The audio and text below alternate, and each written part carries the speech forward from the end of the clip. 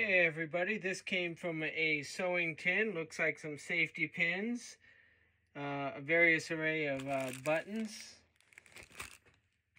some uh, eye hooks, several pairs of uh, different kinds of scissors and clamping pieces, tweezers, and nail clippers that was in it, and a couple other scissors.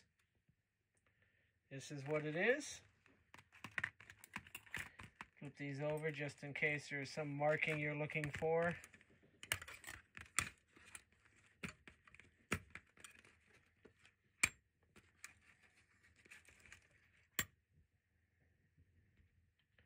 And that's it. Thanks for looking at a Gnubay item.